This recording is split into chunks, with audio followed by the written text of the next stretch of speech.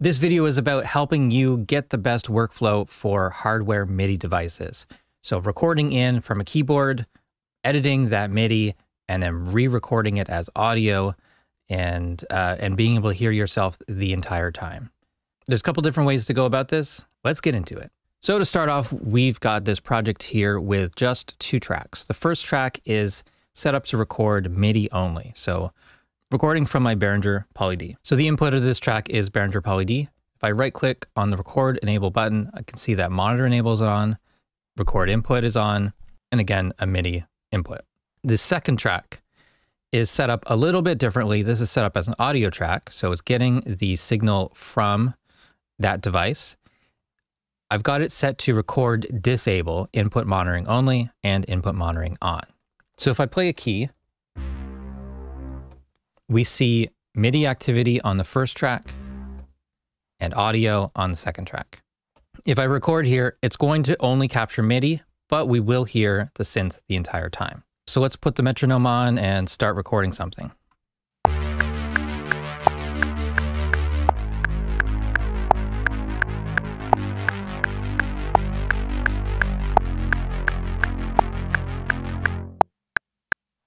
Uh, close enough. So we can definitely truncate that first section and there is the uh, the MIDI pattern. So in the MIDI editor, this is not like a virtual instrument where if you can press a key or you can grab a note and instantly hear it because this is a hardware device. This MIDI is not being sent anywhere yet. So if I want to hear this as I'm editing, I need to create a send. So we can do this in two different ways. The first way is kind of the built-in way that you're supposed to, and I think the, the second way is a little more of a hack. But the first way, you go to your routing window for your selected track, go to the uh, hardware MIDI device, so Behringer Poly D, and now if I grab a note, I can hear it out of track two as long as that's still record enabled. And so I'll just tighten up this recording a little bit I was rushing and dragging and not doing a very good job of playing this very simple line, but we'll get there. Okay, I'll just jump ahead to when I've got this quantized. Now let's just fine tune the sound of this. So uh, I'll just loop here and play this back and the synth is still active so we, I can start adjusting the uh, filter and the envelope to get the perfect sound.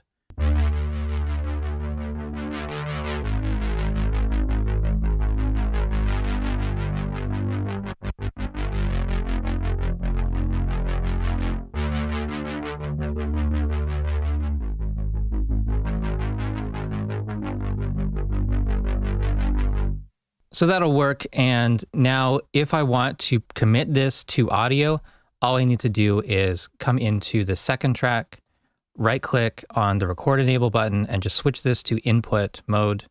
And now I can record this as audio.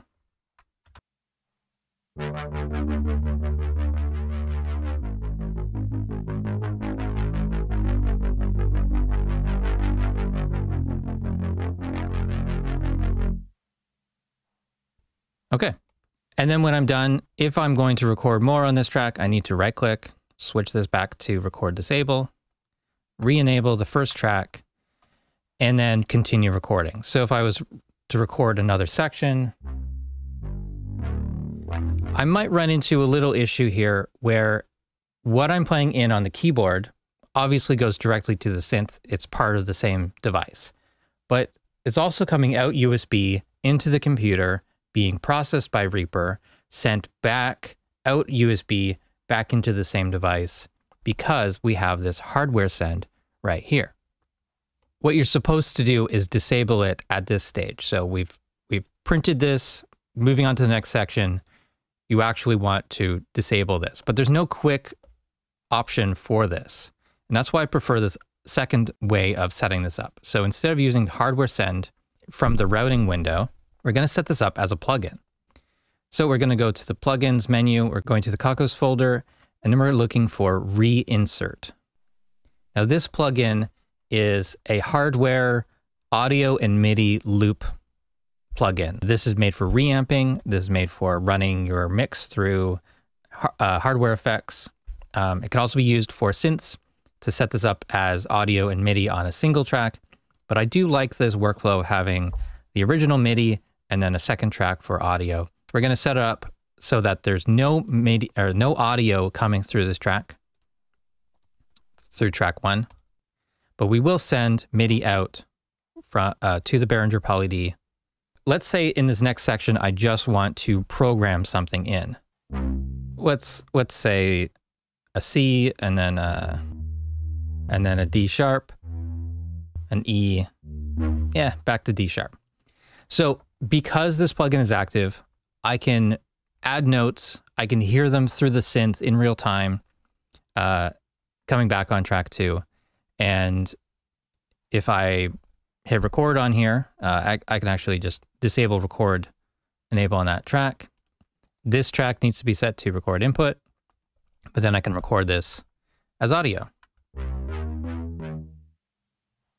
And when I'm done with that, I can just shift click on the ReaInsert uh, when it's embedded in the TCP. If you if you just look for uh, show effects inserts in TCP when size permits. So when this is visible here, shift click will bypass. And so when I play it back, it's not going out of the plugin into the synth and then being processed again, which would double the sound. Right? If it's on, is actually being sent twice. And I'll I'll change the filter here so you can hear both. So you're hearing the original recording as audio, plus the MIDI being sent out into the synth in real time. You can get into some weird situations uh, when you're doing that.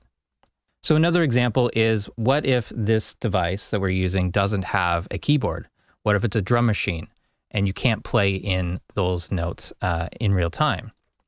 So there's there's no uh, MIDI performance to worry about. Actually, the MIDI input doesn't matter here, uh, and it doesn't need to be record enabled. So this will just be drums MIDI, and we'll do one more track here with a monitor input and set to the same stereo input, the stereo input for my mixer, and this will be drums audio and move the ReaInsert plugin over to this track by holding down the option key and dragging. And I'll just change this output to uh, my drum machine. So if I make a MIDI item here below that other one, if I click here on C1, I can see that and hear it uh, coming out of the mixer. And yeah, I can program a beat here.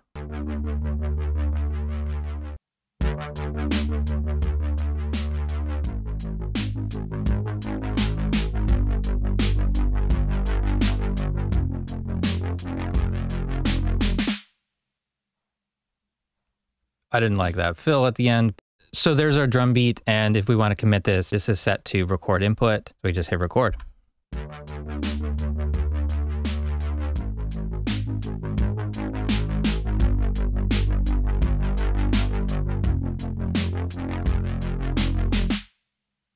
So that's it for the tutorial. Hopefully this has been interesting and useful.